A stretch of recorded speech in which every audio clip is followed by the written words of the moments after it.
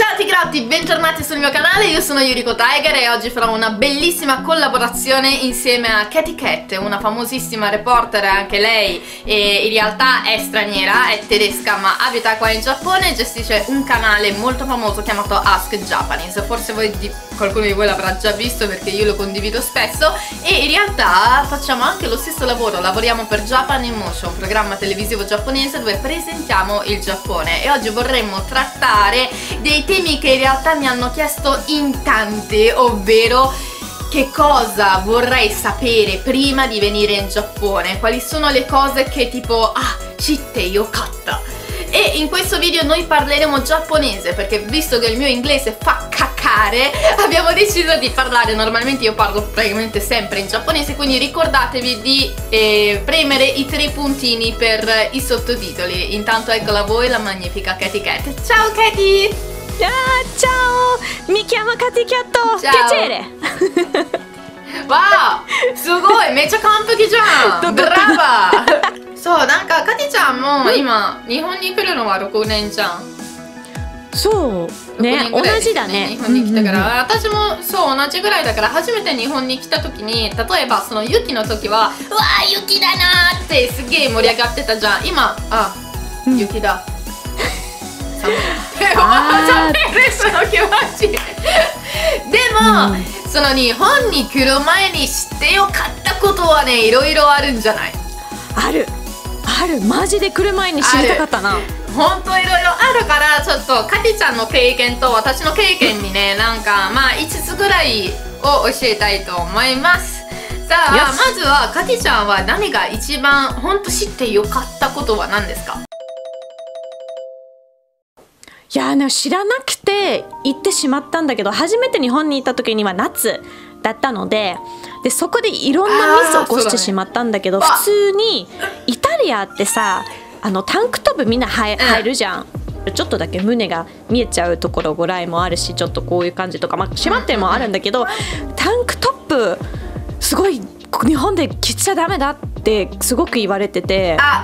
確かに。そうなまず、いろんな理由が、まあ少なくとも2つそう。セクシーすぎる。なぜかっていうとこうタンクトップはさ細いからブラジャーのストラップが見えちゃうとこそれまずまあ NG ブラジャーのストラップ見えちゃうのはあんま良くないし、それがちょっと NG 多分イタリア人は特にびっくりしてるのことは、うん、日本人の高校生とか、まあ、大体女の子、めっちゃ若いなのにすげえ短いのスカートが効いててすげえ勇気あるじゃん。それ危なくない？とかなんか階段ってさののなんか階段とかエスカレーターに乗る時にいろんなあのいろいろ書いてあるじゃん。そのスカートの下に写真を撮るため。それはね一番びっくりしたんだよはって秋葉原どこどこだよね、うん、ある本当にそれする人がいるんだみたいな。さすがに秋葉原だな。いや本当だな、うん、なんかお店に行きなよマジで。なんか思ったんですけど。実はねそう。その短いスカート入ってるなのになんでタンクトップがセクシーなの？確かにそれが意味はわからない。私も初めて知ったのは超びっくりした、うん、なんかスカート短い OK なんですけどタンクトップはセクシー、そういう胸はねあんまり見せなくちゃいけない。そう見せあんまりね上の露出はダメだけど足の露出は OK イタリアはね逆。かなり必ず逆だ、パンツの方が多いしスカートはね入ったことないぐらい。みんな「えいベッラどうばピューピュー」ってなんか、うん、なんか言って始まっちゃうから車から。ああキャットコール確かにスカートのイメージがない。そうそうそうそうイタリアのこの前ね久しぶりオフ会をやったらまあいろんなファンが来てくれたしさすがにねその時が気がついた。ものすげえセ,、まあ、セクシー。やっぱりもう日本に長くに住んで始まっちゃったからセクシーに見えたんですけど、うん、よく考えるとイタリア人から見ると全然セクシーじゃないけど B カットがものすごく多かったこの B カットは完全に胸がポンケ。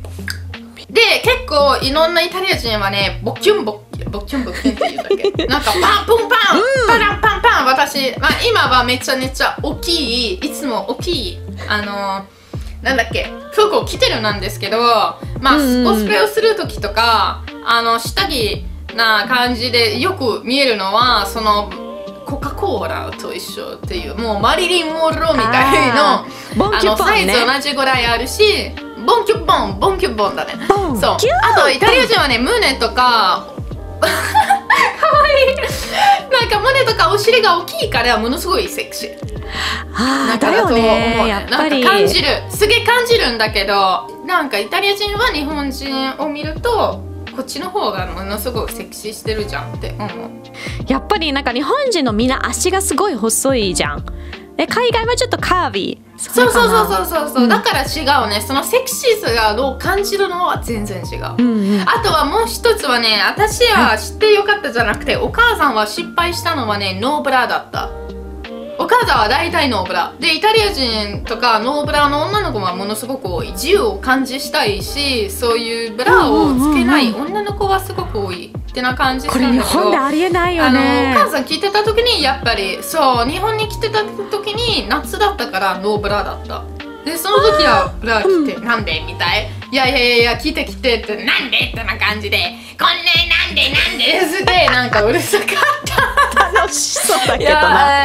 でも確かに私はねスカートあんまり着ない。本当昔からあんまり着なくて、私はタンクトップ大好きだから、うん。その男だけは着てるのは嫌だ。うーんなんか私も着たいって思っててなんかすっげえ羨ましいんだよ。タンクトップ本当にギャルしか見えないんだよね。これを着てる日本人の人は。大体ギャルでもいいんじゃすげえエロい目線とかにもねそうめっちゃ見られるから、うんうん。必ずそのタンクトップとか、まあ、すごくそのノーブラとかすごく胸が見える見えないようにあのした方がいいです。うん。なんかほんと違うね。やっぱりなんだろう。その恥ずかしさは違う、うん。例えばさ日本人よりが私は足が太いから足を見せるのは恥ずかしいんだもん自分は。やっぱりどこまで短くしても OK なのに、うんうんうん。一番難しいし一番不安な感じする。学校は特には行きたくないスカートでじゃあ私はねこっちからほんと一番最初初めて日本にと来た時にびっくりしたのことっていうかほんと知ってほしかったのことは、東京は日本じゃない。なな簡単に言うと東京は特別、東京に東京は出る東京もうに出ると違う。日本も違う。景色も違う。空気も違う。人も違う、何でも違う。でで本当もうえなんかディズニーランドみたいね。もう東京ランドだよ。東京ランド Welcome to 東京ランドなんか本当なんかテーマパークみたいな感じする。確かに。に。それはでも面白いと思うんだよね。原宿はこういう可愛いファッションとか渋谷はちょっとかっこいいファッションとか秋葉原行くとアニメとかもう本当に場所によってテーマパークみたいに面白いものいっぱいあるよね。そうでも東京から出ると違うじゃん。もう。ザイなかな感じしてで急にがビルがポーンって東京に入ってた。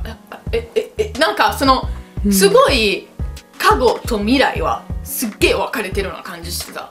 それなんていうかい日本の本当に味わう時には東京だけとか大きな町だけではなくどこかねちょっとした田舎に行くともう両方味わえるからいいかもしれないね本当に、うんうんあの日本に来たのは夏だったのでこれは自分の国から持っていかないとやばい。商品はたデオドラントです。シュー。で だ日よな本のデオドランントは効かないんだよ。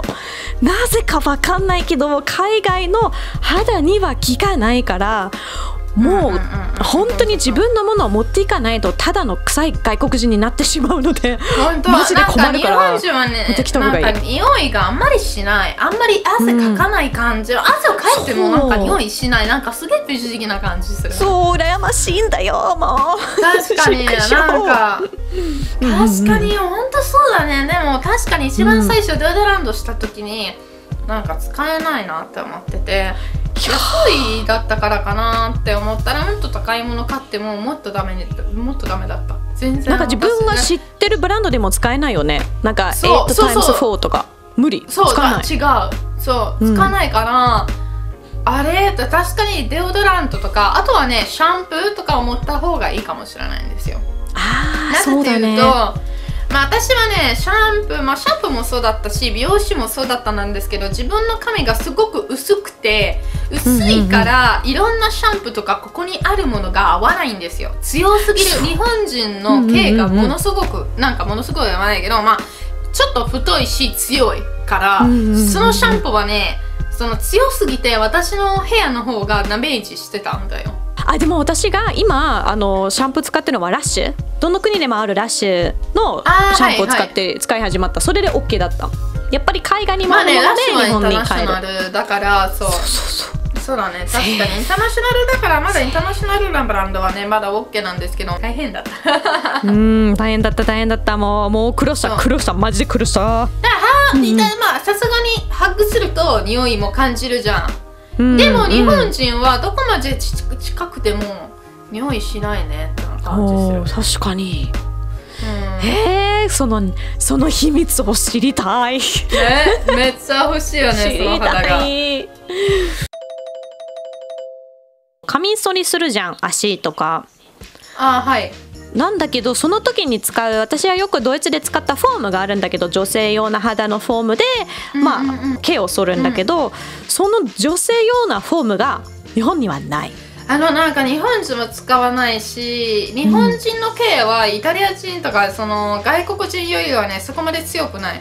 面白いのは髪の毛の毛がものすごく強いんだけど、うん。あの頭のね。体の毛がすごく薄いらしいそうなんだ。ええ すごいな。いいな。な羨ましい。私の友達ものすごく困ってたのは、あの、うん。ビーガンだったから。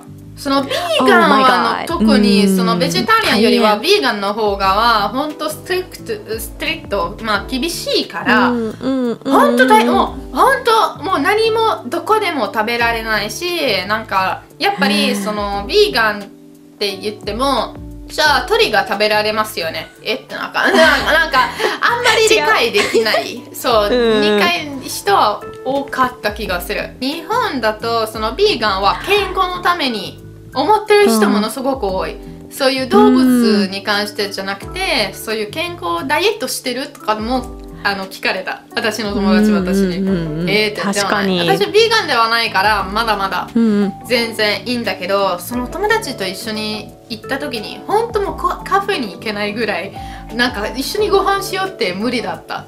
かわいそうでサラッとポテトしか食べられなかった。かわいそうと思って。